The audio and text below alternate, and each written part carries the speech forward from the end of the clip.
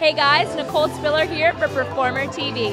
Tonight we're on the Rooftop Revere in Boston for the 2016 Model Club Summer Pool Party. The hottest people in Boston are here tonight photographers, models, stylists, tons of beautiful people, everyone in the industry. Let's go check it out.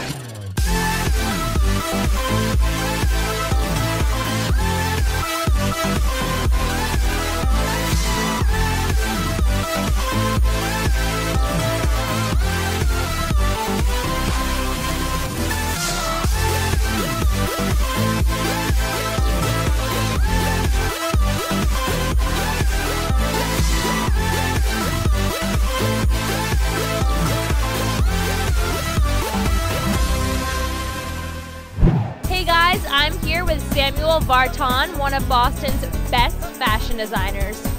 What do you think makes Boston fashion so unique?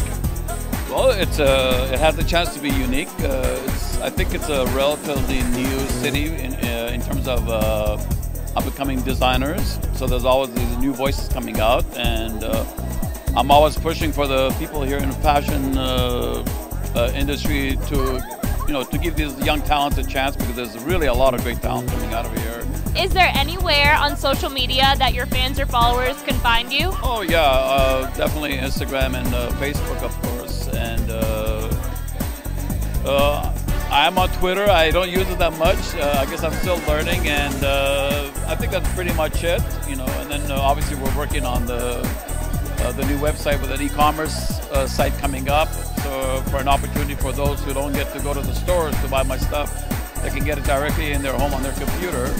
Hey guys, I'm here with Tim Ayers, the director of Model Club Inc. in Boston, and we're here at the Revere Rooftop for the 2016 Model Club Summer Pool Party. Tim, could you tell us a little bit about Model Club? So we've been in business for around 30 years now, and we represent actors and models of all ages in Boston, and we've been really successful doing this, and I'm really pleased with the turnout at the party tonight.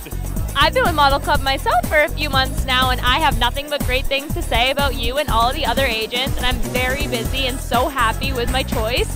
Um, could you tell us a little bit about the differences between the Boston market and the New York City market in modeling?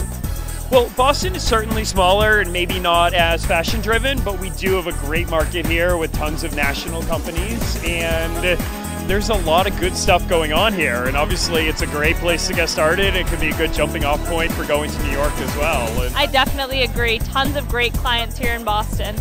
Well, that wraps it up for the Model Club Summer Pool Party at the Revere Rooftop in Boston. Reporting for Performer TV, I'm Nicole Spiller.